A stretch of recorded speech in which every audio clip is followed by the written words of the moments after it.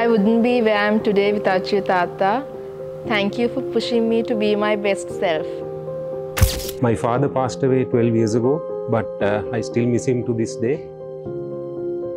I owe a lot to him for where I am today. He was like a friend to me when I grew up.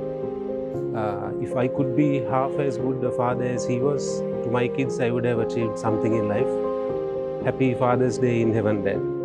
Uh, I'm grateful for you, Dad. Uh, I don't think that I would be able to pay you back what you have done for me for the past years. Uh, I really miss you. Happy Father's Day.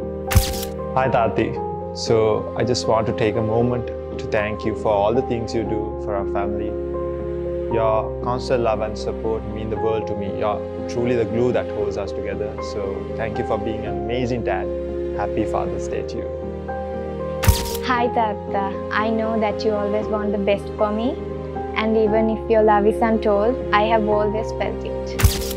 Apache, I know that uh, I have not been close to you as to mom, and uh, I may have not even simply said thank you for everything that you have done, and uh, I may have not even said sorry for some things that I have done.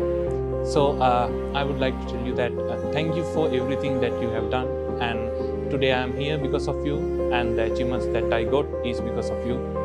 Uh, so uh, you are the one that I look up to, and I want to be as better as you someday. Uh, so last, I would like to uh, tell you that I love you very much, and Happy Father's Day, Dad.